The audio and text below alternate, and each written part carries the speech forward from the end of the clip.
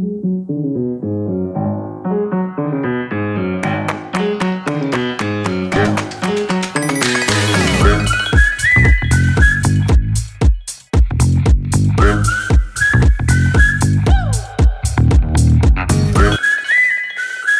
thing that attracted me to diamonds is actually their interaction with people. We people make diamonds what they are. So for me, it's a human part of the story. The diamonds are human for me. So uh, behind each diamond is a story. Behind each story is another story. So when you dig up and you see the cultural uh, heritage behind every major jewelry piece of diamond, you become fascinated with this. My name is Alex Popov.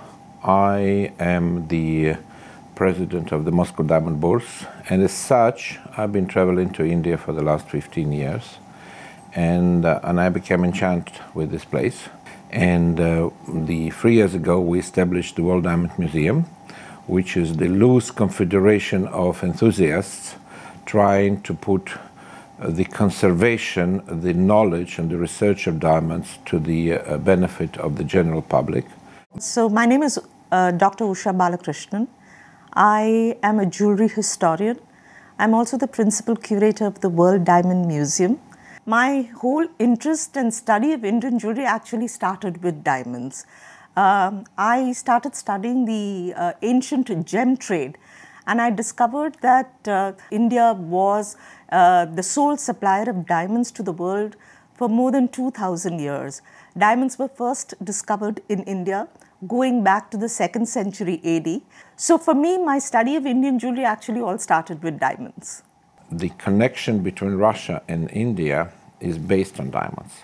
The first uh, Russians who came here were fascinated with diamonds, and there are even the poems and the operas written on this subject. So that's always was very fascinating for me. So basically, I can say that my connection to diamonds goes through India and not the other way around. The story that I found uh, fascinating in this history is the fact that uh, the balance of trade has been in had been in India's favor for well on 1,500 years primarily due to the export uh, of diamonds from India.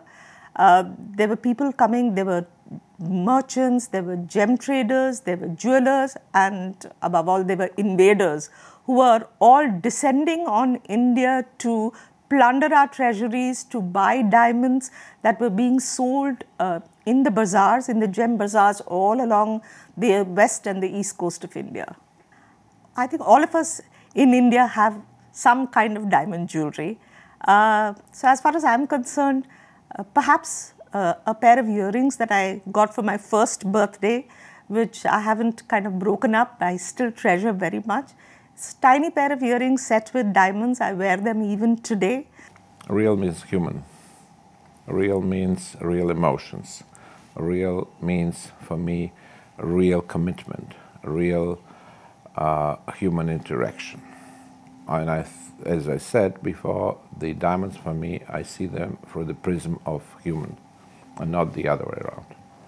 So real is something that's that's got energy, that has a certain power, that has got certain magic, that has got a certain uh, eternal value to it, and I think all this boils down to to what diamonds represent for me.